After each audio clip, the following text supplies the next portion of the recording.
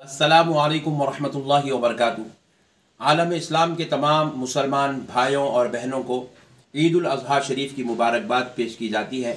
آپ تمام حضرات سے خواہش کی جاتی ہے کہ آج عید الاضحیٰ ہے اور یہ وہ بابرکت عید ہے جو آپس میں ایک مسلمان سے دوسرے مسلمان کے دلوں میں محبت پیدا کرنے کے لیے، اخوت اور بھائی چارگی کا جذبہ پیدا کرنے کے لیے آتی ہے۔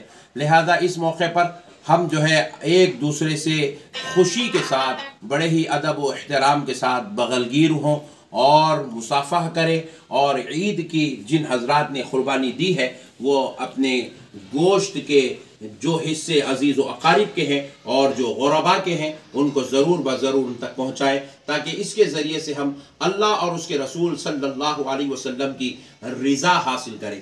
آپ تمام عاشقان رسول، محبان اولیاء کو پھر ایک بات خانقاہ جنیدیہ یوسف گڑا حیدرآباد کی طرف سے دل کی گہرائیوں سے عید الاضحیٰ کی مبارکباد پیش کی جاتی ہے۔ السلام علیکم ورحمۃ اللہ وبرکاتہ۔